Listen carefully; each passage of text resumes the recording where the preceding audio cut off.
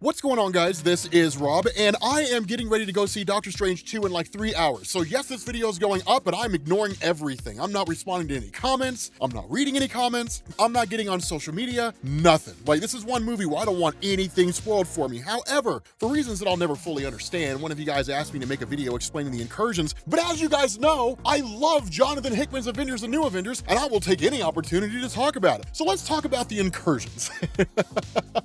I love, oh my God, God, I love the incursions. God, I love Jonathan Hickman's Avengers and New Avengers. God, it's so good. For those of you guys who never, who, who were never part of like our original coverage, one, you are missing out. Like, dude, it was one of the best things to like watch fans like in the comments as we were covering it. They're like, it's the greatest story ever. Uh, and two, you'll find the whole playlist down in the description. So here's the thing about the incursions. What I'm about to tell you happens in the first three issues. It's nuts. One day, Black Panther's hanging out. and basically, like, I think it's a rhinoceros, just comes running through what looks like an invisible wall. And Black Panther's like, what in the hell is going on with that? So he goes to investigate. And when he passes through, he basically sees a red earth. And so he's like, okay, this is really weird. But then there's also this chick named Black Swan who shows up. She kind of like descends down from this earth. And then basically Black Panther fights them all, ends up capturing her. And then he reforms the Illuminati in what's like one of the best Black Panther moments ever. Okay, so it's so good. It's so amazing that like at the at the end of this, there's this moment where Black Panther, he's praying to the Panther goddess Bast, right? And he's like, Goddess, oh goddess, save me from what this world demands. What is it? He's like, save me from righteous men, save me from thinkers, save me from summoners, like save me from midnight kings and the devil himself. He's talking about like Namor the Submariner because like the last time they met, Namor the Submariner had basically like attacked Wakanda during the events of Avengers versus X-Men and like pretty much obliterated Wakanda. So like Black Panther has like a blood feud with uh with with like Namor the Submariner now. But nonetheless, right? So so basically Black Panther reforms the Illuminati, which includes Captain America, right? We're not going to cover the entirety of Hickman's Avengers and New Avengers, by the way. Just talk about the incursions here. But you guys can't, yeah, you understand, man. I can't help myself. The story's just that damn good. Once the Illuminati's reformed, Reed Richards basically interrogates Black Swan, and that's when you get what they initially believe to be the cause of the incursions. Like literally Black Swan, you end up finding out she has no clue what the hell's going on, but she spouts her, her views with such conviction that like you think she knows what's actually happening. But she basically talks about Rabum Alal and like the, the Great Destroyer and like the, the wheel has to turn and like basically the idea behind the incursions is that somewhere along the line, an entire universe was obliterated, right? That Earth was, was basically destroyed and the universe was annihilated along with it. And when that happened, it basically pushed the two universes next to it into the universes next to them, creating what was basically a domino effect. Now, Earth is the anchor point. So when an incursion happened, like it did at the beginning of the story, and you basically saw an alternate Earth out there just kind of floating in the ether, what happens is that from the time that Earth appears, you basically have eight hours. By the time that eight hours reaches zero, those Earths will collide and both universes will be destroyed. However, the only way to stave off an incursion is to destroy one of those Earths. Now, when that whole realization happens, again, we're still sticking with like the first three issues of Jonathan Hickman's New Avengers run. This is how epic it was. So what ends up going on here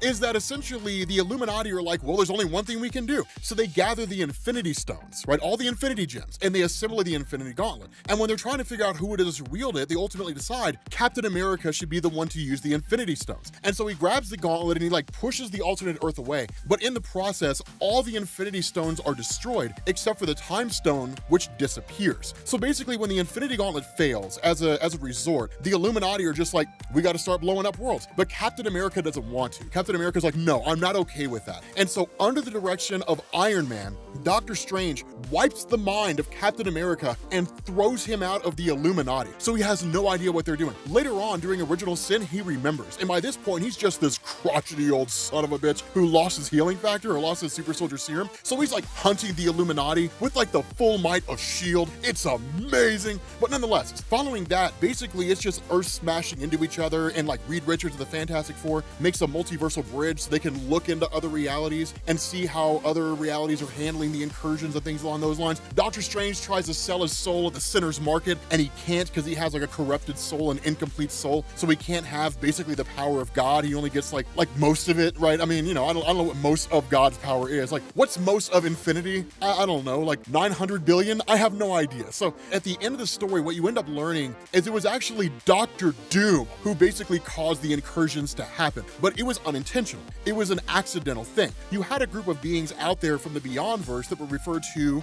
as the Beyonders. Nobody ever said Marvel was great when it came to names. But the important thing here is that these guys had been around for quite some time, but they had just now basically constructed their experiment. That what you have across, in, in really in every single universe in Marvel Comics, is you have the Molecule Man Owen Reece. This guy's a universal constant. In every single universe, his origin is the exact same. And in every single universe, his power set is the exact same. The ability to alter reality on a universal scale. The reason why this was done is because the Beyonders had basically engineered the Molecule Man to be that way, and they were the reason why he existed. And the whole intention of the Beyonders was to basically detonate all the Molecule Men across the multiverse at the same time and blow up the multiverse. That was their goal. And so when Doctor Doom had realized this, he worked alongside the Molecule Man Owen Reece. They went to an alternate reality and they killed one of the Molecule Men. But when that happened, it was detonating a bomb. The power of the Molecule Man in that reality blew up the entire universe. And that's what started the incursions in the first place.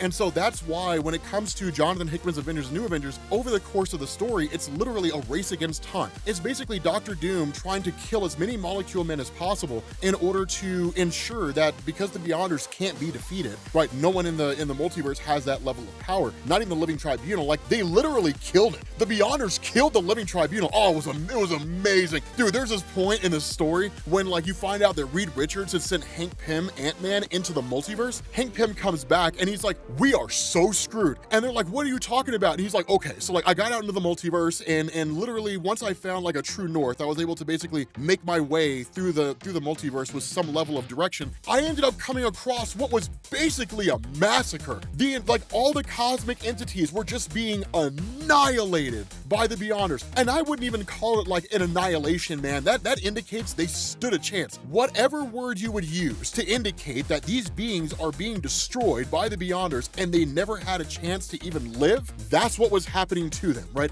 Whatever that adjective is, right, to describe just this absolute massacre that's happening. So after all these cosmic entities are destroyed, the living tribunal shows up, right? Basically the second most powerful being before God. Hank Pym is watching all this. The Beyonders kill the living tribunal. They obliterate that guy, right? So like that's the level of power we're talking about, right? These these dudes were nuts. So so because of the fact that Doctor Doom couldn't defeat them, that what Doctor Doom was continuing to do was go through the multiverse and basically kill as many Molecule Men as he possibly could as a race against what was going on. The other thing that he did is he formed the Black Swans so they could start destroying incursive Earths to try to slow down the incursions. So it's kind of fighting a war on two fronts. Again, all this comes to a head at the end of the story. Oh my god, at the end of New uh, Avengers and New Avengers, when basically like like Doctor Doom and those guys confront the Beyonders, and it's like this giant container full of Molecule Men, like literally just these ridiculously powerful guys. They open it up on it, right? It's like Doctor Doom, it's Molecule Man Prime, you can call him that, and Doctor Strange, and like they're literally facing these Beyonders, and they open up this container of Molecule Men who go flooding into the Beyonders and and destroy them all. And so with all that power out there, Doctor Doom absorbs the power of the Beyonders and becomes God King Doom. Oh my God, it was so good. It was just so ridiculously good. I'm sorry, guys. I'm, I'm, I'm just saying. I'm just saying, man, it's one of the greatest stories ever. But that's basically the incursions, right? The incursions of Marvel Comics were a set of events which was created by Doctor Doom in an effort to stave off the Beyonders' attempt to destroy the multiverse, and he accidentally caused universes to start crashing into each other. And that was basically it. Like, once that first universe was destroyed, there was no way to stop the incursions. It was inevitable the multiverse was going to collapse. But with that being said, guys, uh, we're gonna bring this to an end. I hope you appreciate this this explanation on the incursions. I am off social media until I'm done seeing Doctor Strange. I'm not answering tweets. I'm not talking to people. I'm not looking at comments. No nothing. And I will see you guys when I am done. Peace.